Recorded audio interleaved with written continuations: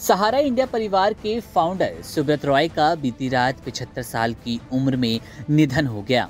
उन्होंने मुंबई के कोकिलाबेन धीरूभाई अंबानी अस्पताल में आखिरी सांस ली। वो लंबे समय से बीमार चल रहे थे।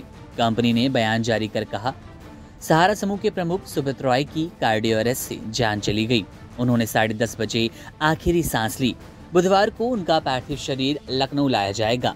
अब उनके निधन के बाद उनकी पत्नी और उनके बच्चों की चर्चा तेज हो गई। बता दें कि बहुत कम लोगों को मालूम है कि सहारा श्री सुब्रत रॉय की पत्नी स्वप्ना रॉय और बेटे सुशांतो रॉय ने भारत की नागरिकता को छोड़कर बॉल्कन देश मैसेडोनिया की नागरिकता ले ली है। उन्होंने ये नागरिकता भारतीय कानून से बचने के लिए ली थी। सहारा श्री के खिलाफ निवेशकों का पैसा न लौटाने को लेकर कई मामले चल रहे थे। ऐसे में उनके परिवार के सदस्यों ने दूसरे देश की नागरिकता लेकर खुद को भारतीय कानून से दूर करने की कोशिश की। जानकारी के लिए बता दें कि मैसेडोनिया दक्षिणी पूर्वी यूरोप में स्थित है। ये एक नया देश है जो निवेश के लिए लोगों को नागरिकता प्रदान करता है। रिपोर्ट के अनुसार कोई भी नागरिक जो मैसेडोनिया की नागरिकता लेना चाहता है, उसे बस चार लाख यूरो के निवेश करने की घोषणा करनी होती है।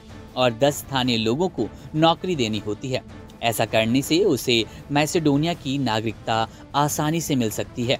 इसके अलावा जो विदेशी मैसेडोनिया के रियल एस्टेट में चालीस हज़ार यूरो से अधिक का निवेश करता है, उसे एक साल तक रहने का अधिकार भी मिल जाता है। मैसेडोनिया ऐसा देश है जो अपनी बेरोजगारी की दर को खत्म करने के लिए काम कर रहा है और इस तरह से नागरिकता बांटना भी उसका ही एक हिस्सा है। मैसेडोनिया में बेरोजगारों की संख्या काफ़ी अधिक है और इससे निजात पाने के लिए वो लगातार नागरिकता देता जा रहा है। मीडिया रिपोर्ट्स के अनुसार, सुब्रत रॉय सहारा के मैसेडोनिया के साथ काफ़ी अच्छे रिश्ते थे।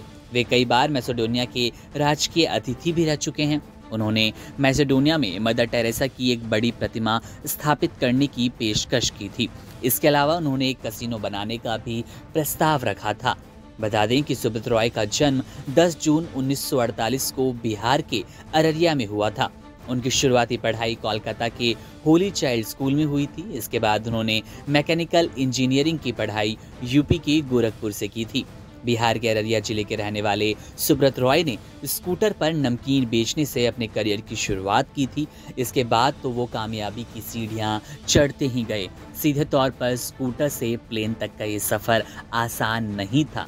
लेकिन चर्चा में है पत्नी और बच्चे, जिन्होंने भारत की नागरिकता त्याग कर मैसेडोनिया की नागरिकता ली है और वो सिर्फ़ निवेशकों का जो पैसा गुपचुप तरीके से गायब किया है। सुब्रत रॉय ने उससे बचने के लिए भारतीय कानून से खुद को दूर करने के लिए। बहरहाल, मामले पर हमारी नज़र है और तमाम सुब्रत रॉय से जुड़ी कहानियाँ, उनका सफ़र और बड़ी अपडेट्स के लिए बने रहिए वन इंडिया हिंदी के साथ।